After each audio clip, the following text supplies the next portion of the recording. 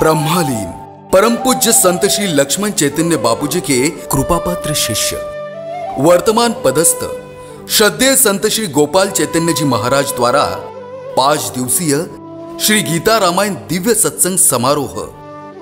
मंगलवार, एक मई से पाँच मई 2018 तक। समय, सुबह दस बजे से दोपहर एक बजे तक। स्थान, राजीव गांधी मैदान, Gulmohar colony, N five, CIDCO, Aurangabad. आयोजक अखिल भारतीय चैतन्य साधक परिवार समिति, औरंगाबाद. अध्यक्ष, माननीय आमदार श्री सुभाष जी झांबड़, औरंगाबाद. भक्ति रस का आनंद लेने के लिए अवश्य पधारें.